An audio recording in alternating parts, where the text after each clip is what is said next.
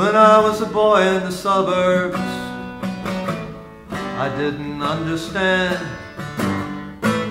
Life was like a pyramid, and somehow everyone was squeezed in. I never knew I was near the top, cause I never got all I wanted.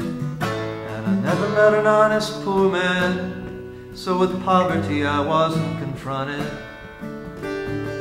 Never knew it took 10,000 women and men slaving on their knees so I could live in the suburbs and do as I please.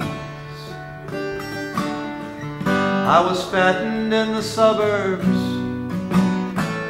cushioned in a way, in spite of my family's problems. Reality was surely delayed.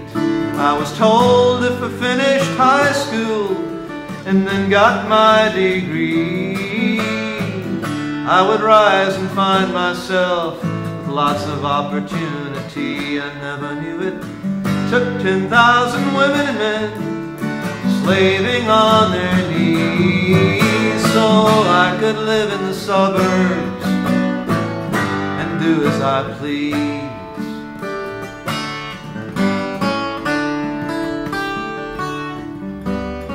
Only kind of socialism I knew was the kind my father hated. I thought we invaded Cuba so that it could be liberated. I thought that Castro was the bad guy and Kennedy the gleaming knight.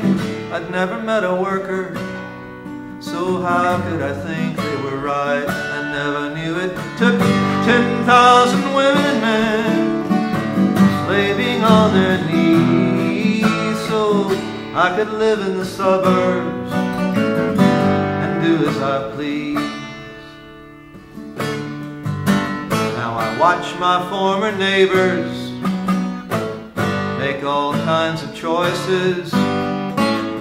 One or two are comrades, and one or two play the golf courses. Some of them understand, and some just drink their lives away.